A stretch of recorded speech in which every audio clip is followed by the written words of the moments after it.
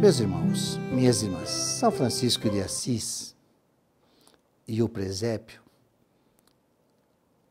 eles passam a ser uma oferenda para o mundo da mais expressiva devoção popular. Francisco traz o Evangelho não apenas para ser lido, mas visto. Constrói um clima necessário para celebrar o Natal com fé pura e plena de ternura. Da gruta de Belém para a gruta de Grécio, e daí para a gruta do nosso coração. O que São Francisco fez foi inventar um jeito do menino Jesus encontrar colo em nosso colo ser silêncio contemplativo em nosso olhar extasiado diante do presépio, que mostra, fala e reflete este modo de Deus fazer morada em nossa casa. Em Grécio, Francisco responde mais uma vez à convocação. Francisco, reconstrói a minha casa.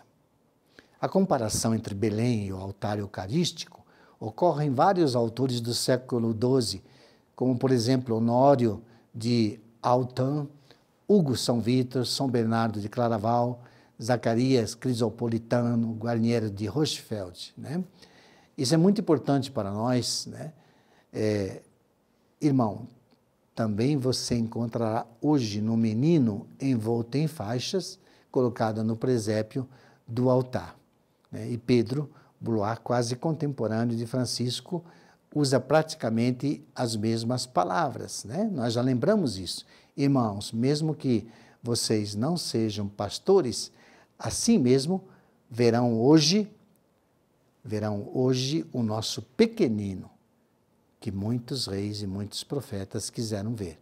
Vão vê-lo colocado no presépio do altar, na aparência de glória, envolto em faixas. Então, a ideia eucarística do presépio, tão comum né, em artistas e místicos, né, é para nós hoje uma grande verdade.